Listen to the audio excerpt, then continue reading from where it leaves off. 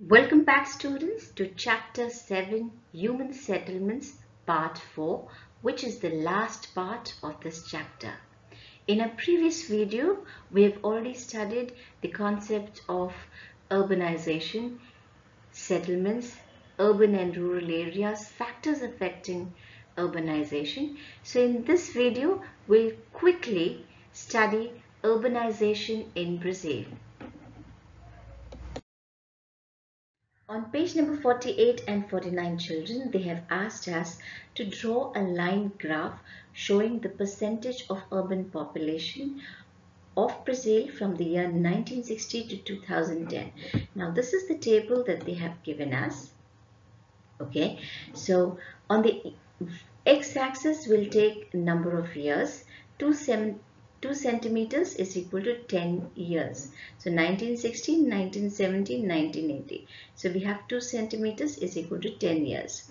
Now on the y-axis we will take percentage of urban population. So here 1 centimeter is equal to 10%.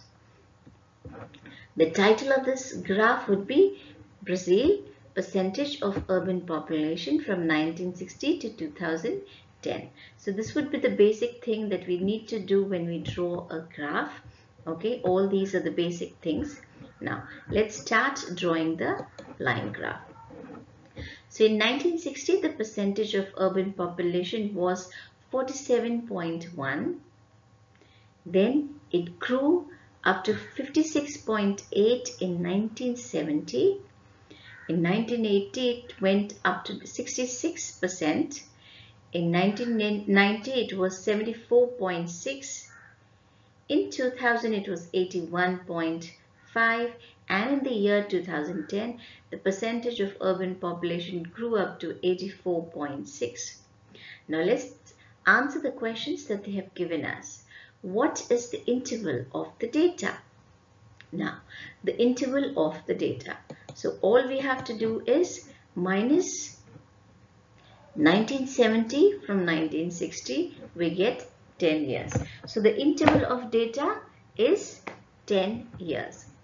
The next question. In which period urbanization occurred rapidly? Now, urbanization occurred rapidly between the decade 1960 to 1970. So how do we calculate this? Simple okay all we have to do is minus 56.8 okay from 66 then we minus 47.1 from 56.8 then we minus 66 from 74.6 and so on. So when we minus 47.1 from 56.8 we get 9.7 and we get 9.2 we get 8.6 we get 6.9 and we get 3.1 in the same way. So the maximum urbanization that occurred if we compare this data okay the maximum maximum urbanization occurred between the year 1960 to 1970 which is 9.7 so uh, between the year 1960 and 1970 maximum urbanization occurred. Or urbanization occurred very rapidly. Now the next question they have asked is write five sentences analyzing the graph. So let's start with what is urbanization and the factors affecting urbanization. So urbanization refers to the movement of people and human settlements from rural areas to urban areas. We've already studied this. Employment opportunities, higher standard of living, better facilities and infrastructure force people to migrate from rural areas to urban areas. Okay, so this is what we need to write, okay, or we can write in the beginning.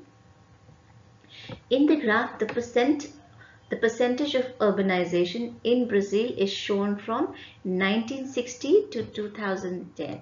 So from 1960 to 2010. In Brazil, rapid urbanization occurred between 1960 to 1970. It was around 9.7% and reached 56.8 in 1970. So we've already seen this. In 1960, it was 47.1 and in 1970 it was 56.8 so the difference we calculate calculated was 9.7 okay so this is the rapid urbanization that took place between the year 1960 to 1970 the graph is moving in the upward direction. So if you see this graph it's moving in the upward direction which indicates positive and rapid growth in urbanization. So this is a positive growth and it's growing rapidly. After 1970 we see decrease, a slight decrease in the growth of urbanization. So if we see here after 1970 okay we see a slight decrease in urbanization then we see that the growth of urbanization is decreasing gradually. Okay, it decreased rapidly in the decade of 2000 to 2010. So if you see here from 2000 to 2010, the percentage it grew only by 3.1%. So it decreased to a very large extent but in general okay if we see there is a rapid increase in urbanization of Brazil. So if we compare the urbanization of India and Brazil the urbanization of Brazil is very rapid. However the urbanization in India is also increasing but at a very steady pace Now let's move on to the geographical explanation of urbanization in Brazil. Now, Brazil is one of the few developing countries which is highly urbanized. Okay, we've already seen or we know that urbanization of a country can be measured in terms of percentage of urban population of the country to its total population. So today 86% of Brazil's population lives in the cities. Urbanization is one of the important factors which contributes to economic growth. Now, the availability of water, electric supply, roads, etc. All these leads to the development of industries and due to this there are the employment opportunities increase okay? Naturally people from the rural areas migrate to the urban areas. We've seen all this okay? So naturally if the population is increasing in a particular area other facilities like roads railways banks hospitals etc also increase. So all this leads to the economic growth of that place almost 86% of Brazil's population lives in urban areas. Okay, hence we can say that the definition of urban is not very clear in Brazil because if you refer to this pie chart, we see here 86.6% of the population lives in urban areas and only 13.4% today lives in the rural areas. So the percentage of urban population is more than the rural population. If you go to see in the other countries, the rural population is more than the urban population. That's the reason we can say that the de definition of urban is not very clear in Brazil. Now,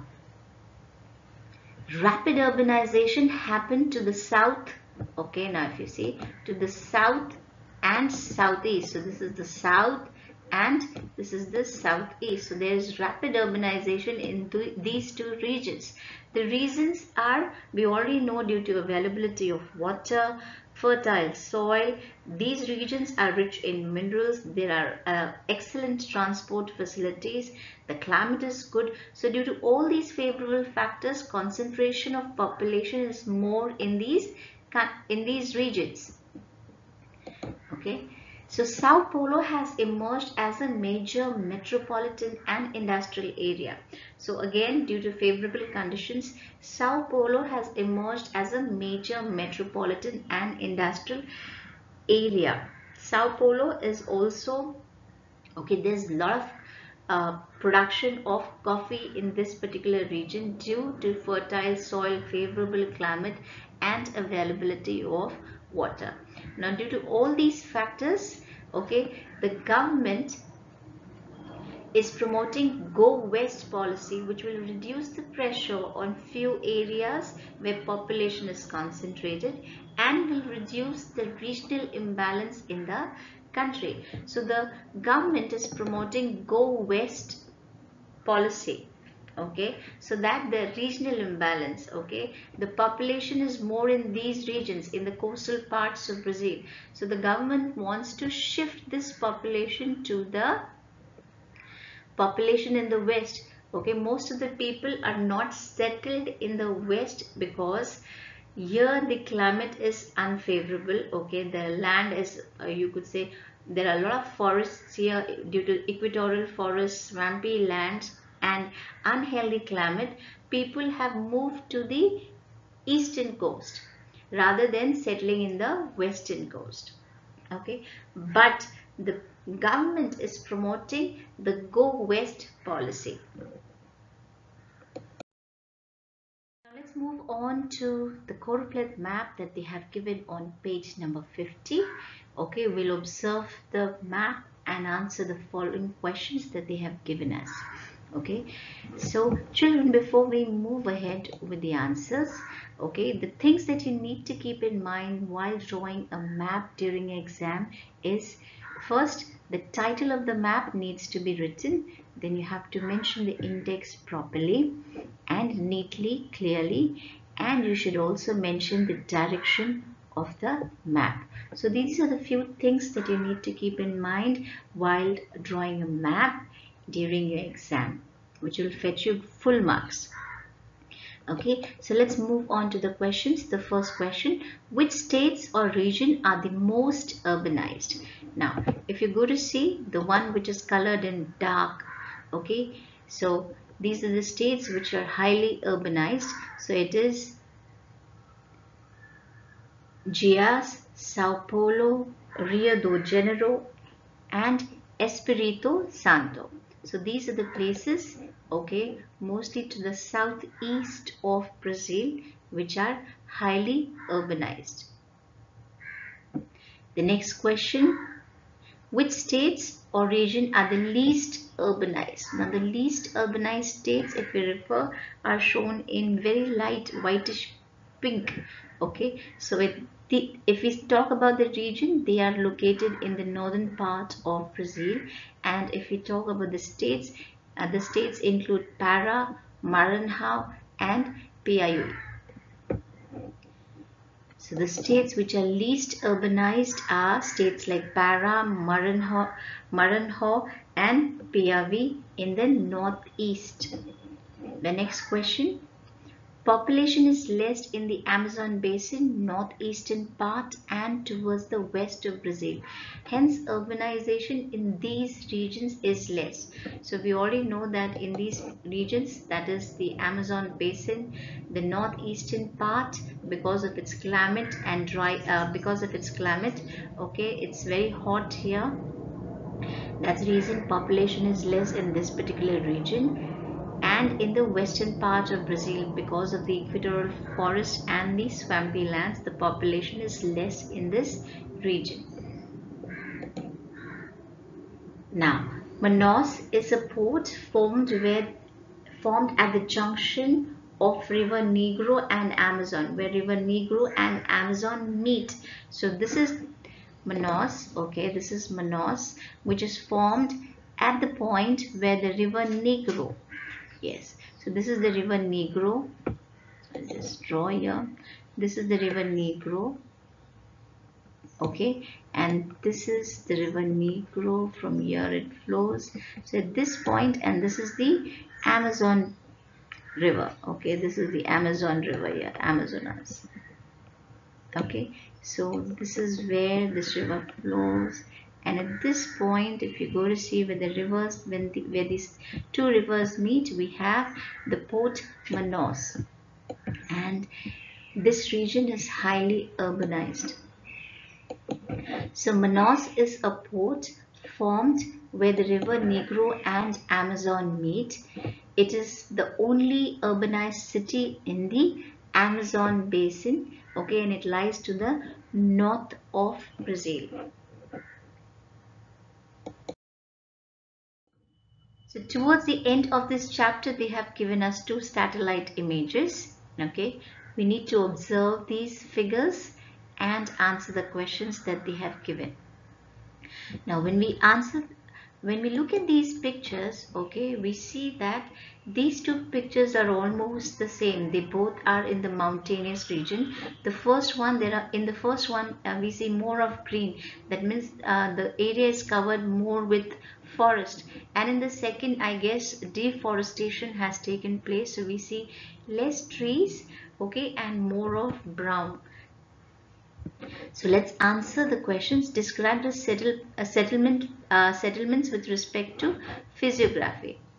Okay, so here both the sa satellite images as I said show different images of the same area in different periods.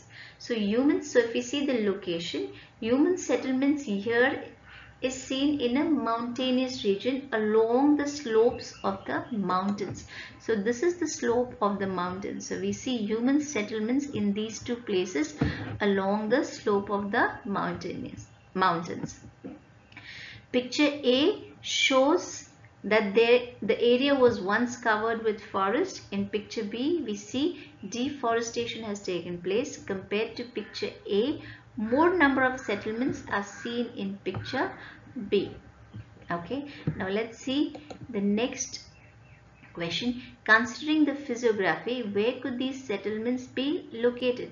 Now they have, we've already answered this question. So let's answer the question, describe the settlements with respect to physiography. So they're asking us the pattern okay what is the pattern of settlement in this particular area or in these in this particular region so uh, in both the pictures scattered type of settlement is seen. Okay if you see this this is a mountainous region. So in both the pictures we see scattered type of settlements. Okay we already know in scattered settlements houses are far away from each other. Such type of settlements are mostly found in mountainous forested deserts plateaus or swampy areas. Now the next question the next question. Now, they've asked us to tell the limitations of the settlement with respect to their future growth. Excuse me. Now the limitations are due to because these settlements are in the mountainous region naturally the transportation would be poor here due to the topography of that place. Then it will be difficult to tackle in emergency situations difficult to tackle emergency situations because it would be very difficult to get relief rescue and aid in case of any calamities or accidents. Then a threat to security. Since people will live far away from each other there would be security issues. Then natural cal calamities like landslides would be a threat to human settlement With this children we have come to an end of chapter 7 human settlements. Hope you have understood. You can find the link to my previous videos in the description box given below. Okay, thank you. Stay home, stay safe. Goodbye.